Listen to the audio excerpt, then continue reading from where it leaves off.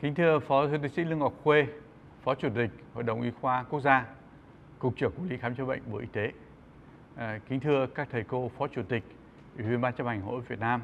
à, các thầy cô, các nhà khoa học đến từ các bệnh viện, các trường đại học, các học viện, các sở y tế, à, ở các tỉnh thành trong cả nước,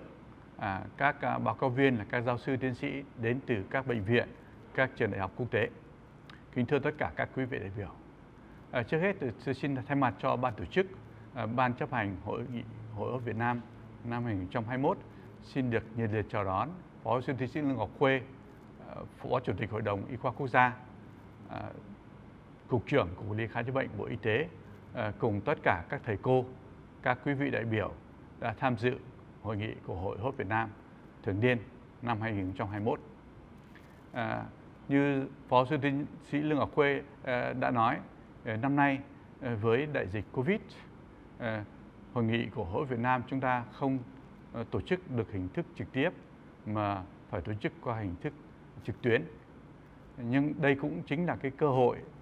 cho Hội Việt Nam có thể kết nối với đông đảo hơn các thầy thuốc, đặc biệt là các thầy thuốc trực tiếp công tác tại các cái tỉnh, thành phố đang còn có dịch, các vùng xa xôi của đất nước chúng ta. À, kính thưa các thầy cô, các anh chị, với đại dịch Covid năm nay, đặc biệt với làn sóng thứ tư, à, đã làm cho uh, rất nhiều khó khăn cho các tỉnh, thành phố uh, của chúng ta. Uh, hơn 100.000 cán bộ y tế đã phải trực tiếp tham gia chống dịch tại các tỉnh, thành phố như Bắc Giang, Hải Dương, Thành phố Hồ Chí Minh, Đồng Nai và các tỉnh phía Nam. Với Ờ, đại dịch Covid thì nhiều bệnh nhân có biểu hiện ờ, bệnh đường hô hấp cũng như nhiều bệnh nhân có các bệnh nền trong đó có bệnh hô hấp bị mắc Covid. Ờ, chính vì vậy, việc mà tổ chức hội nghị khoa học thường niên của Hội Việt Nam sẽ là cái dịp để chúng ta sẽ cùng nhau cập nhật, chia sẻ các cái kiến thức liên quan đến chẩn đoán, điều trị các bệnh lý hô hấp. Năm nay, hội nghị sẽ có các phiên, các chủ đề liên quan về bệnh phổi tắc nghẽn tính, về hen phế quản, về bệnh phổi nhiễm trùng cho nó nhiễm nấm xâm lấn, à, về ung thư phổi, về các bệnh hô hấp nhi, về à, các bệnh lý liên quan rối loạn ngừng thở khi ngủ. À, hội nghị cũng sẽ có các phiên cập nhật về các kỹ thuật à, chẩn đoán à, ví dụ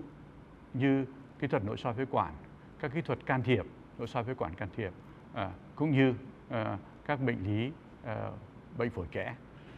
À, năm nay à, hội nghị sẽ tổ chức một phiên chuyên biệt về bệnh covid à, với à, các báo cáo của các thầy thuốc đã trực tiếp tham gia à, công tác phòng chống dịch covid trong thời gian vừa qua. À, để tổ chức hội nghị khoa học à, năm nay thì chúng tôi đã nhận được sự chỉ đạo giúp đỡ sát sao hiệu quả của các đồng chí lãnh đạo Bộ Y tế, đặc biệt của Cục Quản lý Khám chữa bệnh mà ngày hôm nay Phó Sư tiến sĩ Lương Ngọc Khuê, Cục trưởng Cục lý Khám chữa bệnh đã trực tiếp uh, tham gia phát biểu khai mạc và uh, điều hành hội nghị. Uh, chúng tôi cũng nhận được sự ủng hộ, giúp đỡ, ủng hộ của các thầy cô, các nhà khoa học uh, đến từ các viện, các học viện, các trường đại học, các bệnh viện ở trong nước cũng như đông đảo các à, bạn bè đồng nghiệp quốc tế đã à, nhận lời tham gia chuẩn bị cũng như báo cáo trình bày tại hội nghị. Ờ, chúng tôi cũng đã nhận được sự ủng hộ giúp đỡ to lớn của tất cả các quý vị, ờ, đặc biệt các nhà tài trợ ờ, đã đồng hành với Hội Hô Việt Nam trong suốt những năm vừa qua. Nhân dịp này chúng tôi xin được bày tỏ cái sự cảm ơn sâu sắc tới các đồng chí lãnh đạo Bộ Y tế, đặc biệt tới Cục trưởng Phó Sư Tiến sĩ Lương Ngọc Khuê, Cục trưởng của lý khám chữa bệnh Bộ Y tế tới tất cả các nhà tài trợ và các thầy cô ở khắp mọi miền của đất nước, các quý vị đã tham gia ủng hộ đồng hành và minh chứng cho sự lớn mạnh của Hội Hội Việt Nam. Xin à, thay mặt cho ban chấp hành, ban tổ chức hội nghị, tôi xin tuyên bố khai mạc hội nghị thường niên ờ, của Hội Hô Việt Nam năm 2021. Xin ờ, chúc hội nghị thành công tốt đẹp. Xin kính chúc sức khỏe ờ, các quý thầy cô, các quý vị đồng nghiệp. Xin trân trọng cảm ơn.